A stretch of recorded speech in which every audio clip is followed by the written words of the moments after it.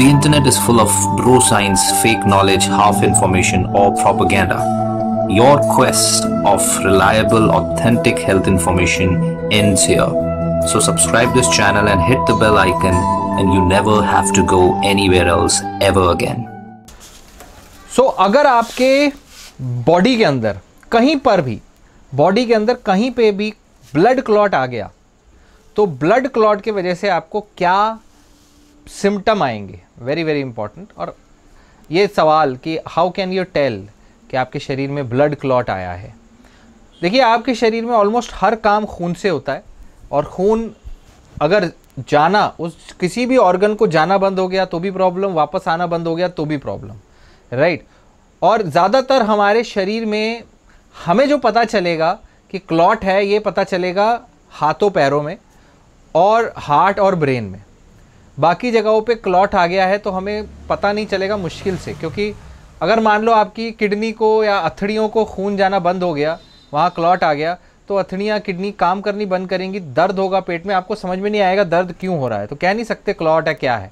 So literally clot की वजह से कोई भी सिम्टम आ सकता है लिटरली और अथड़ियों में खून नहीं जा रहा तो नौजिया उल्टी हो सकती है, पचना खराब, पाचन खराब हो सकता है, बथेरी चीज़ें हो सकती है। लेकिन अगर हाथों, पैरों में आ रहा है क्लॉट तो दो चीज़ें हो सकती हैं। नंबर एक, कि खून लेके जाने वाली खून की नस में क्लॉट है आर्टरी में क्लॉट है। ऐसे में क्या होगा, हाथ या पैर जहाँ पे भी क्लॉट है, उसके आगे का हिस्सा सबसे पहले सुन होगा, नम होगा, ठंडा पड़ेगा और काला होना शुरू होगा। ये अर्जेंट चीज़ हो जाएगी कि क्लॉट तुरंत के तुरंत निकालना पड़ेगा, या तो थ्रोम्बोलाइज करके या फिर ऑपरेट करके, यानी तार डाल के भी निकालते हैं एम्बोलेक्टॉमी भी होती है। सो so, ये इंपॉर्टेंट चीज़ आपको समझनी है। उसके बाद में जो आपको समझनी है बात कि अगर तो क्लॉट आपके वापस आने वाली खून की नस में होता है।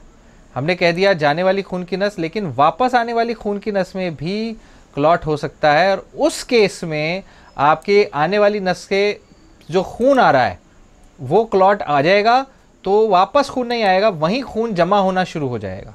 तो खून जब जमा होना शुरू हो जाएगा तो क्या होगा? आपके वहाँ पर प्रेशर बढ़ जाएगा खून की नसों से खून रिस के चमड़ी के नीचे आ जाएगा। एडिमा स्वेलिंग जिसे हम कहते हैं वो होने लगेगा। तो एडिमा या स्वेलिंग होने लगेगा और इसी स्वेलिंग के चलते फिर आपको आ, टेस्ट करवाने होंगे। उसमें अल्ट्रासाउंड करके देख सकते हैं कि स्वेलिंग क्यों हो रही है। इंपॉर्टेंट टेस्ट है अल्ट्रासाउंड इन सब चीज़ों से पता चलता है कि हाँ आपको आ, हो क्या रहा है? Exactly exactly. ये हो गई हाथ पैर की। जाने वाली खून की नस बंद होगी तो खून नहीं जाएगा काला पड़ेगा ठंडा पड़ेगा। आने वाली हुई तो सूजन आएगी दर्द होगा उसमें भी। दर्द तो दोनों में होगा। दर्द तो दोनों में होगा। अगर हार्ट को खून की नस में क्लॉट आ गया तो हार्ट अटैक आ जाएगा। दिमाग की खून की नस में क्लॉट आ गया तो ब्रेन स्ट्रोक आ जाएगा। ब्रेन स्ट्रोक होगा तो हाथ पैर में कोई चीज़ काम नहीं करेगी कोई सेंसेशन काम नहीं करेगी। या तो मुँह टेढ़ा हो जाएगा या फिर पैरालिसिस हो जाएगा लकवा पड़ जाएगा। हार्ट हार्ट अटैक आएगा तो हार्ट फेल होगा और दर्द होगा, छाती में एकदम जान जाने की बात आ जाएगी।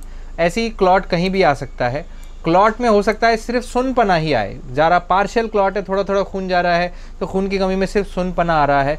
सो सोचिए कितने सारे अजीबोगरीब सिम्टम हो सकते हैं। शरीर के किसी भी किसी भी जगह पे क्लॉट आ सकता है, चाहे वो कान में हो, चाहे वो हाथ में हो, चाहे वो कहीं भी क्लॉट आ सकता है। लिटरली सो so, इसीलिए हर एक सिम्टम को क्लोजली असेस करके आपके सिम्टम आपकी कंडीशन आपके रिस्क फैक्टर को देख के आपको दवाई आपको ट्रीटमेंट दी जाती है कि भाई क्या करना चाहिए आगे। और इसी तरह से हमें पता चलता है कि क्लॉटिंग के चांसेस कितने हैं आपके रिस्क फैक्टर्स जो हमने पहले बात किए हैं वीडियो में उसके हिसाब से पता चलेगा कि क्या करना है। सो so, क्लॉटिंग होगा तो आपको ये सब होगा। रिमेंबर कोई बुखार आना ज़रूरी नहीं है लेकिन हाँ थोड़ा बॉडी में इन्फ्लामेशन हो सकता है तो गर्म गर्म लग सकता है टेम्प्रेरी रिएक्शनरी फीवर हो सकता है हार्ट अटैक के बाद भी रिएक्शनरी फीवर होता है, किसी सर्जरी के बाद भी रिएक्शनरी टेकिकार्डिया फीवर आ सकता है that is one possibility but then symptom main यही रहेंगे सो so, ये हुई बात कि क्या सिम्टम आते हैं जब ब्लड क्लॉट होता है हाउ कैन यू टेल कि ब्लड क्लॉट होता है राइट right?